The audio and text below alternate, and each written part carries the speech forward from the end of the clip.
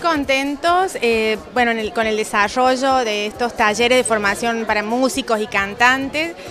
porque realmente la expectativa absolutamente cubierta, con más de 300 inscriptos, talleres de formación para músicos y cantantes, seis talleres, ayer se han dado hoy dos, hoy se dictan otros dos y mañana finalizan.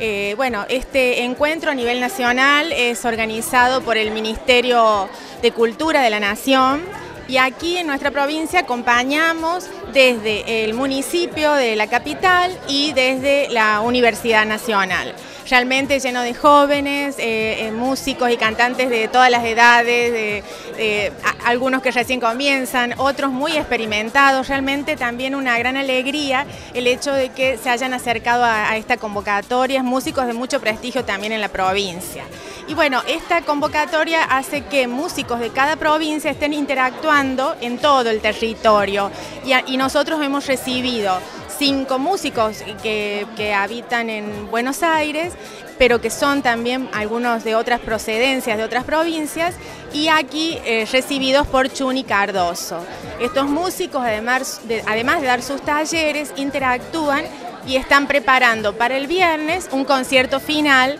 bueno, obviamente queremos este, que nos acompañe la comunidad, es eh, un concierto gratuito,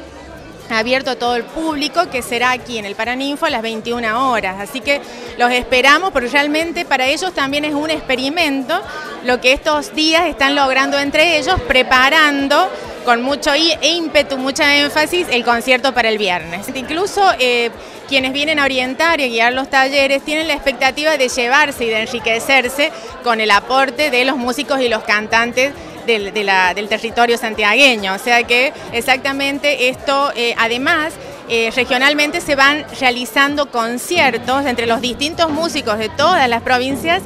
que se van reuniendo en distintas instancias y terminan en un concierto final eh, en el Centro Cultural Kirchner, o sea, más en los próximos meses. O sea que realmente de gran envergadura, todo esto organizado por el Ministerio de Cultura de la Nación y a la cabeza eh, Liliana Herrera y Juan Falú, que obviamente son muy reconocidos.